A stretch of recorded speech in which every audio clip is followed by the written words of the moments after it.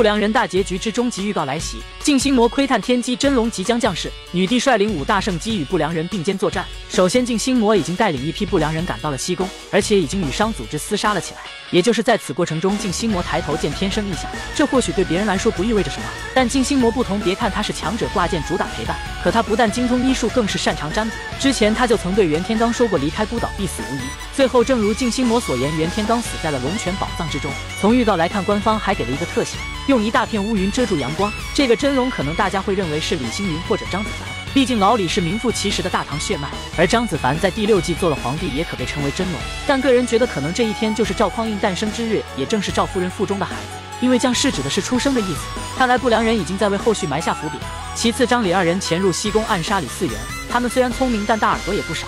为了安全考虑，李嗣源先安排自己的高手去西宫，一方面是保证西宫的安全，二来有人要伏击自己，这些人也可以及时出来保护他。所以，当李星云带张子凡潜入西宫，本打算暗杀李嗣源，但未曾想是伏击不成，反被伏击了。不过老李毕竟是本季战力天花板，这些小兵对他来说并不算什么。